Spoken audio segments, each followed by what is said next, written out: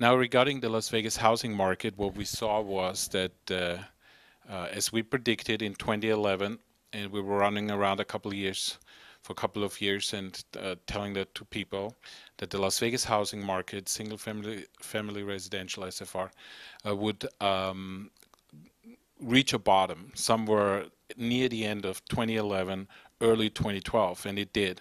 In the first couple of months of 2011, it reached uh, the absolute bottom and square footage prices were like 45 50 bucks you know max 60 bucks by march 2012 and it was very low compared to where we were before in late 06 and stuff. We were up to about 240 to 20 a square foot. So it corrected basically 65 percent. So uh, as we said back then, you know, that was the ideal time to buy the Las Vegas uh, single family family residential housing market, and we're talking homes that used to cost three hundred thousand, and then they cost a hundred thousand, or somewhere around eighty-five to hundred thousand dollars. That was the target, and then for the investors, our goal was to rent them out and uh, have a cap rate of about twelve percent, uh, approximately, you know, around twelve percent, and that was the possibility then we estimated that those home prices uh, would increase by approximately 50% within about a time frame of three to four or five years. So that was our target. Um, what happened was that in 2012, home prices appreciated for this type of homes by about 40 to 50% within about six months. So by August, September, we were up around 40, 50% already. And what we did with our investors and, and people who invested in those houses, some were rented out, of course, and we just said flip them. It's the perfect flip, you know.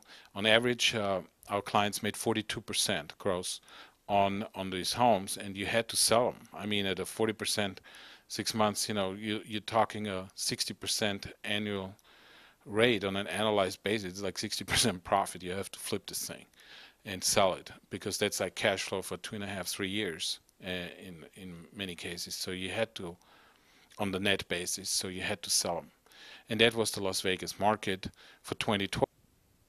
So the Las Vegas uh, single-family residential market uh, um, performed exactly as as we thought it would, meaning the bottom. We actually we thought it would take much longer for for prices to increase, and they didn't increase uh, in three, four years. They increased in six months. We already sold it.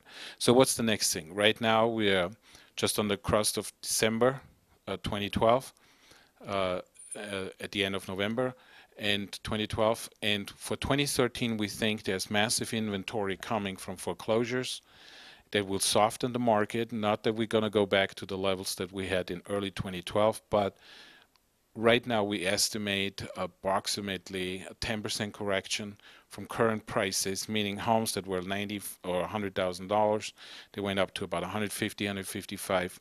They should be available approximately 130, 135, 130 to 140. I would say 135, 140. That's the price range we're talking about. Maybe 130s, and uh, it's still okay for uh, income uh, model if that's the case, you know, renting out cap rate will be significantly lower and um, will be only like an 8% range, if at all. And um, there's another segment in the market in Las Vegas which we think has a huge potential in in residential housing, and that is, and we're going to talk about it more in another segment, but this is the luxury homes market has not recovered at all. You know there's lots of properties that are still completely smashed down meaning homes million dollars and up two million bucks and they're really at a bargain price right now. I think that's the market for 2013 14 or to just buy them now. Now is the time to buy those luxury properties.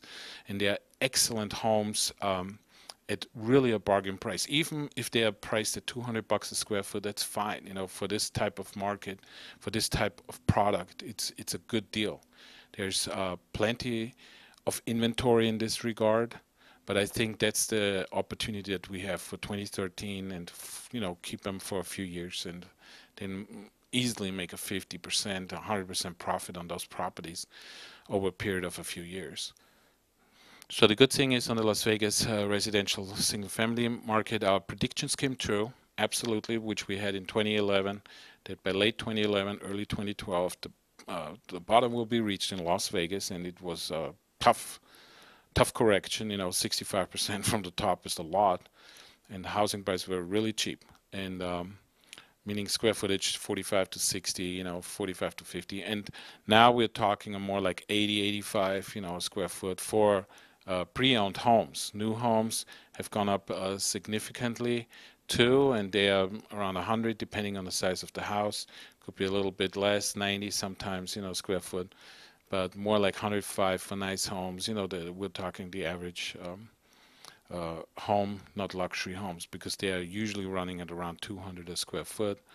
But um, there's uh, the opportunity to get really into the Las Vegas market to make big bucks is gone. I mean, even house prices, if they go up uh, 50%, if after the correction they go up 50%, you know, that's fine too. If the 10% correction or so from the current prices, they go up 50%, that's fine too. There's still money to be made, but it will take take a while. It won't be happening in 2013, so it's going to take, you know, 2015, 16, somewhere around that time, a few years. That's that's our guess. You know, that's what we think and um, and they won't be coming much cheaper than the 10% correction from now.